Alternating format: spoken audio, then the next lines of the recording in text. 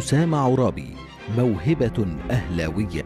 شهد تاريخ النادي الأهلي العديد من المواهب الكروية التي لا يمكن أن تسقط من ذاكرة عشاقه ومحبيه بفضل الأداء الرجولي والمهاري الذي قدموه على مدار تاريخهم على المستطيل الأخضر.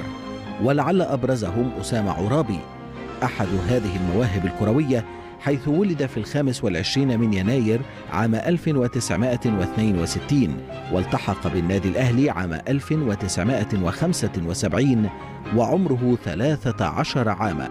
ولم ينجح في الاختبارات وتكرر نفس الموقف عام 1978 وذهب إلى المقاولون العرب عام 1981 لكنهم لم يقتنعوا به.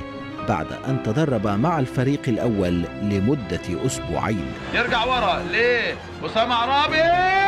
عرابي عرابي في المباراة رقم 380 اتجه عرابي مرة أخرى إلى الأهلي بصحبة مشجع أهلوي يدعى عبد المنعم محمد علي وقدمه إلى الكابتن أحمد ماهر مدرب فريق 21 سنة آنذاك الذي ضمه إلى الفريق. وفي عام 1982 صعده محمود الجوهري مدرب الأهلي وعبد العزيز عبد الشافي مدير الكرة إلى الفريق الأول. لعب أسامة عرابي أول مباراة رسمية في موسم 82-83 في الأسبوع الرابع من الدوري الممتاز أمام الأولمبي وفاز الأهلي 6-0 البداية الحقيقية لأسامة عرابي كانت في موسم 83-84 واستمر طوال 16 موسما حتى نهاية موسم 98-99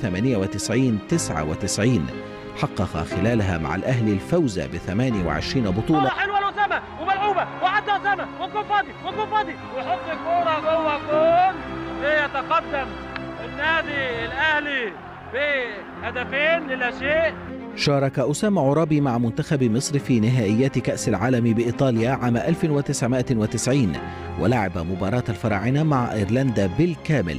طوال مسيرته كلاعب لم يحصل سوى على كارت أحمر واحد فقط وكان في مباراة الزمالك ولم يسجل سوى 12 هدفا فقط عبر مسيرته الكروية. تعديه من تعدياته بيلعب الكوره عرضية ما فيش حد توصل الكوره لأيمن شوقي اللي بيصلحها لاسامه عرابي وبيشوط اسامه عرابي جوه جول. عمل أسامة عرابي بعد اعتزاله الكرة مدربا للفريق الأول بالأهلي موسم 2001-2002 مع المدير الفني البرتغالي مانويل جوزيه وساهم معهم في فوز الأهلي بكأس رابطة الأبطال وكأس السوبر الإفريقي. وعمل مديرا فنيا لنادي الإنتاج الحربي وأخيرا مدربا عاما مع حسام البدري في المنتخب الأولمبي قبل أن يعود مدربا عاما للأهلي رفقة المدرب الهولندي الشهير مارتن يول ويحقق معه بطولة الدوري الممتاز قبل أن يخوض تجربة المدير الفني مجددا مع أندية الجنوب كالنصر للتعدين وأسوان. يرجع ورا ليه أسامة عرابي!